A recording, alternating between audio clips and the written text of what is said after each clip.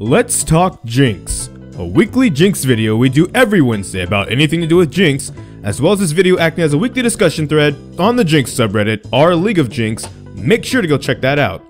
And because not a lot is going on so far, it's the preseason, everything's in chaos, I thought we'd do a bit of a for fun video for today, and that being, if you were tasked with reworking Jinx, how would you do it? And your answer could be nothing at all. Maybe you think she's perfect. You know, buffs and nerfs have kept her in the meta enough that those of us that like playing her, even if she's not super meta, that's fine. We can still play her and get stuff done and have a good time. So that can be your answer as well. But your answer also could be something like maybe you would rework one ability, or maybe you wouldn't rework an ability, you would rework how maybe some abilities interact with each other. So for example, my honest answer would be in the first one, I wouldn't really rework her. I think, like I said, buffs and nerfs kind of keep her in a certain state where she's just fun to play, or at least in a spot that I can play her year-long round and be fine. But an example of like these, say, abilities interacting with each other would be like, maybe if you land the Flame Chompers on somebody, Zap will do extra damage to that person while they're snared to kind of benefit the all-in if you have like an all-in support or something like that, right?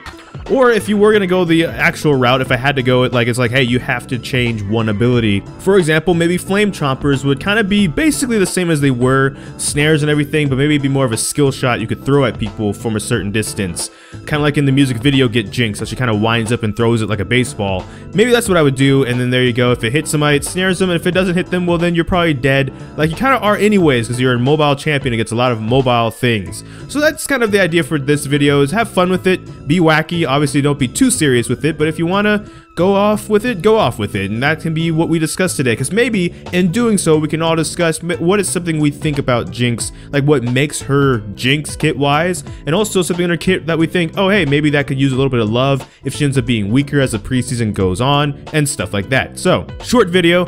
Thank you so much for watching this video, and if you're in America, as a matter of fact, at the point of when this video will go live, tomorrow will be Thanksgiving, so happy Thanksgiving in advance, but make sure to like, comment, subscribe, hit that bell notification, the actual subscribe button, but I don't know which video will be next, because life can have a lot of kinks. So till this time, take care, GG, get jinxed, thank you for watching, and enjoy pizza responsibly.